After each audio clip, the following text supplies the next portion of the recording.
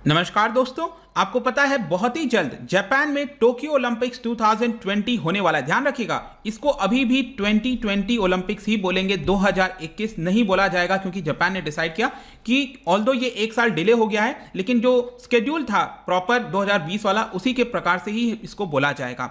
तो यहाँ पर अब क्या हो रहा था कि जब भी कोई टीम जाती है, जैसे भारत से हमारी टीम जा रही है तो उनके टी शर्ट वगैरह पर जो किट्स वगैरह होते हैं, हर जगह आपने देखा होगा स्पॉन्सर्स लगे रहते हैं, जो ब्रांड्स हैं वो लगे रहते हैं। तो यहाँ पर क्या हुआ था कि चाइनीज़ स्पॉन्सर कर रही थी। पहले भी चाइनीज़ स्पॉन्सर कर रही थी तो यहाँ पर भी चाइनीज़ कंपनी के द्वारा स्पॉन्सर किया जा रहा था। लेकिन इस बार भारत ने मना कर दिया है कि यहाँ पर चाइनीज़ स्पॉन्सर से हम यहाँ पर कोई मदद नहीं लेंगे। और टोक्यो ओलंपिक्स में जितने भी हमारे एथलीट्स हैं, वो अनब्रांडेड टी शर्ट ही पहनेंगे। ये आप देख सकते हो India drop Chinese kit sponsor ahead of Tokyo Olympics यहाँ पर भी आप देख पाओगे कि यहाँ पर China says don't politicise sports minister Rijiju says India contingents will go unbranded तो इसके बारे में डिटेल से समझेंगे कि एक्जैक्टली exactly हुआ क्या, क्योंकि पहले तो भारत ने एक्सेप्ट कर लिया था और जस्ट एक दिन के बाद ही यहाँ पर हमने चेंज कर दिया तो कई सारे क्वेश्चन है, क्या भारत को ऐसा करना चाहिए, नहीं करना चाहिए? चलिए देखते हैं इसको अच्छे से समझेंगे। अगर आप यूपीएससी की तैयारी कर रहे हैं तो इसके बारे में सारी जानकारी आपको डिस्क्रिप्शन में मिल जाएगी। वहाँ से आप हमारे ऐप को भी डाउनलोड कर सकते हैं।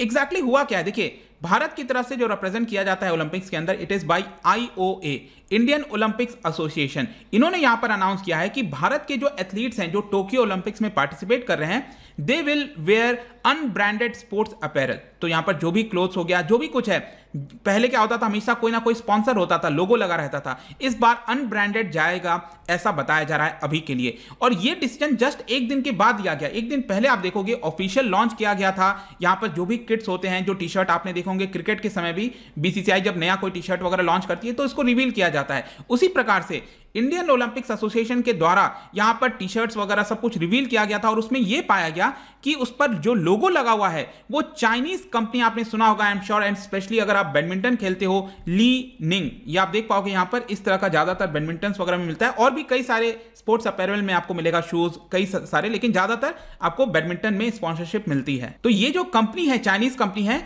वो जो भी कुछ स्पोर्ट्स से रिलेटेड चीज़ें इंडियन एथलीट्स के पास आती, वो यहाँ पर दिया जाता, चाहे स्पोर्ट्स अटायर हो गया, जो भी कुछ हो गया। तो अब यहाँ पर ज्वाइंट स्टेटमेंट जारी किया गया है इंडियन ओलंपिक्स एसोसिएशन के प्रेसिडेंट और सेक्रेटरी के द्वारा, और कहा है कि यहाँ पर जो लोगों का सेंटिमेंट है, देश के सेंटिमेंट है, उसको देखते हुए हम इसको वापस ले रहे हैं। यहाँ पर मैं आपको यह भी बता दूँ कि पहली बार ऐसा देखने को नहीं मिल रहा है देश में। पिछले क्योंकि एक डेढ़ साल से आप देखोगे, जिस तरह के रिलेशन रहे पिछले साल आईपीएल का जो स्पॉन्सरशिप था वहाँ पर भी वीवो को हटा दिया गया था वीवो अलग हो गया था लेकिन उसके बाद वापस से इस, इस साल आ गया। तो इस तरह की चीज़ें आपको मिलेंगी कई सारे चाइनीज़ ऐप्स वगैरह इसको बंद किए गए थे।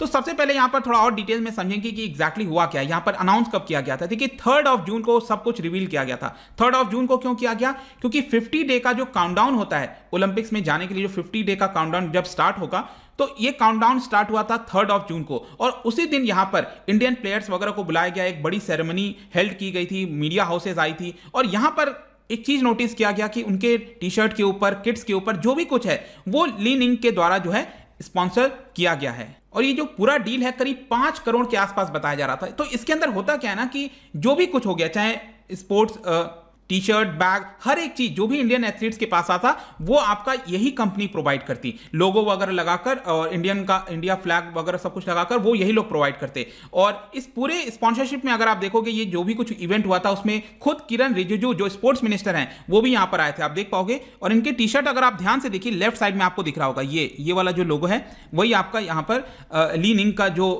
लोगो है स्पॉन्सर है, वो देखने को मिलता है। लेकिन अब यहाँ पर क्योंकि डिसाइड कर दिया गया है, और जो डिसीज़न है, यहाँ पर इंडियन ओलंपिक्स एसोसिएशन ने बताया कि हमने स्पोर्ट्स मिनिस्ट्री के कहने पर किया है। यहाँ पर स्पोर्ट्स मिनिस्ट्री ने गाइड किया कि देखो इसको सुधारो करके और तब जाकर यहाँ पर जो है लीनिंग को हटा दिया गया है इस पूरे स्पॉन्सरशिप से। लेकिन क्वेश्चन ये आता है कि क्या पहली बार ऐसा हो रहा है कि ओलंपिक्स के अंदर भारत जो है वो चाइनीज़ कंपनी को स्पॉन्सर करती, अगर करने वाली होती तो। अब तो कैंसिल हो गया है। मैं आपको बता दूँ, ऐसा नहीं है। पिछले पाँच साल पहले भी अगर आप देखोगे, यहाँ पर रियो ओलंपिक जो हुआ था, क्योंकि पाँच साल हो चुके हैं 2016 में हुआ था तो इसमें भी ली निंग ने ही जो है स्पॉन्सर किया था इंडियन टीम को अपेरल को।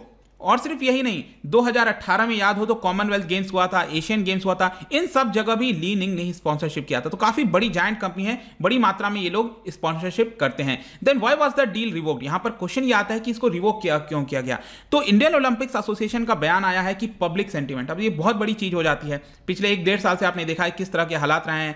यहाँ पर सोशल मीडिया से लेकर हर जगह, जो रोष है चाइना के खिलाफ, वो आपको देखने को मिलेगा। बॉर्डर डिस्प्यूट पर गलवान वैली में जो भी कुछ हुआ, लोग काफ़ी ज़्यादा इससे आहत हुए थे। और इसी की वजह से एक तरह से आप कह सकते हो एंटी चाइना सेंटीमेंट को लेकर एप्स वगैरह जो है कैंसिल किए गए बैन किए गए। और वीवो को भी बीसीसीआई का जो आईपीएल वगैरह है, उससे हट, हटना पड़ा था। और स्पेशली ये भी बताया जा रहा है कि लगातार जिस तरह से सोशल मीडिया पर क्रिटिसिज्म आ रहा है चाइना का, उसको देखते हुए इसको हटाया गया। यही अभी के लिए रीजन बताया गया है। लेकिन यहाँ पर क्वेश्चन ये आता है कि क्या हम अनब्रांडेड जाएँगे? क्या कोई दूसरा स्पॉन्सर नहीं होगा? देखिए अब क्या है कि समय बहुत कम बचा है।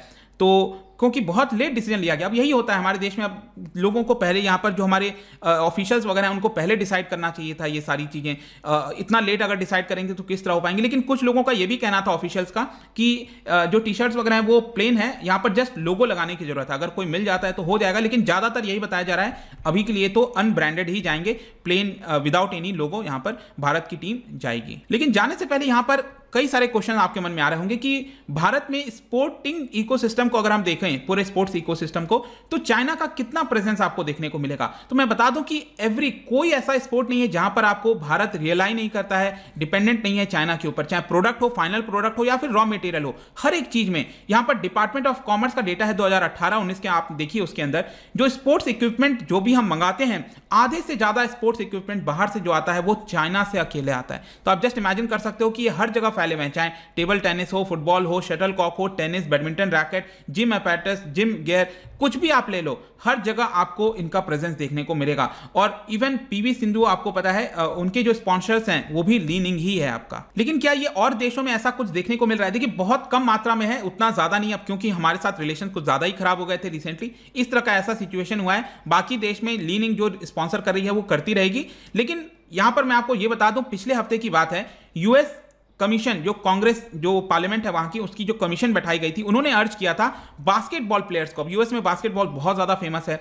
तो वहाँ पर उन्होंने ये कहा था बास्केटबॉल जो स्टार्स हैं प्लेयर्स हैं, कि आप जो स्पॉन्सर करते हो चाइनीज़ कंपनी को मतलब आप प्रमोट करते हो ना, एक ब्रांड एम्बेसडर हो, आप ये करना बंद कर दीजिए क्योंकि ज़्यादातर उसमें क्या होता है कि कॉटन जो सोर्स किया जाता है वो शिंजियांग प्रोविंस से किया जाता है। वहाँ पर शिंजियांग प्रोविंस में आपको पता ही है जो विगूज मुस्लिम्स हैं, उनके साथ अत्याचार किया जाता है फोर्स लेबर अपनाए जाते हैं। तो क्लियर एविडेंस यहाँ पर मिला है कि इसकी वजह से जो यूएस में बास्केटबॉल स्टार्स हैं, उनको अपील किया गया कि आप ऐसा उनको प्रमोट मत करिए। इसके अलावा यह भी मैं आपको बता दूँ, कुछ समय पहले मैंने वीडियो भी बनाया था, जब जो वहाँ का लोअर हाउस है हाउस ऑफ़ रिप्रेजेंटेटिव उनकी जो स्पीकर हैं नैन्सी पेलोसी उनके द्वारा अर्ज़ किया गया कि 2022 में, जी हाँ 2022 में याद रखिएगा कि बीजिंग में विंटर ओलंपिक्स होना है।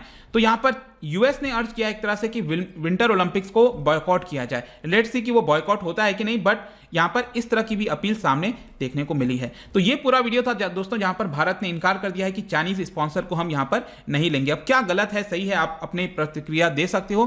कमेंट सेक्शन में। और जाने से पहले एक इंटरेस्टिंग क्वेश्चन आपके लिए लेकर आए हूँ, जो ओलंपिक गेम्स आपको पता है, बहुत एंशियंट टाइम्स में खेला जा रहा है। मॉडर्न टाइम्स का तो चलो ठीक है। Eighteen ninety seven I think शायद तब से स्टार्ट हुआ था। लेकिन एंशियंट टाइम्स में जो एंशियंट ग्रीस ग्रीस है it was held in the honour of which Greek god कौन से ग्रीक गॉड के ऑनर में ये जो ओलंपिक गेम्स है वो आपका खेला जाता था, क्या आप बता सकते हो? इसका जो राइट आंसर है, आपको पता ही है, मेरे इंस्टाग्राम पर तो मिलेगा ही। अगर आप वहाँ पर नहीं हो, कोई बात नहीं टेलीग्राम से भी ले सकते हैं। और मैं कई सारे एमसीक्यूज यहाँ पर डालता रहता हूँ स्टोरीज के फॉर्म में आप जाकर प्ले कर सकते हो। बाकी अगर आपको पीडीएफ चाहिए अलग अलग सोशल मीडिया पर जुड़ना चाहते हैं तो आ सकते हैं। और अगर आपको इकोनॉमी पढ़ना है, किसी भी एग्ज़ाम की प्रिपरेशन करनी है तो ज़रूर हमारे ऐप को डाउनलोड करिए वेबसाइट विज़िट करिए। आई होप ये वीडियो आपको पसंद आया होगा। मिलता हूँ आपसे next time till then thank you very much see you soon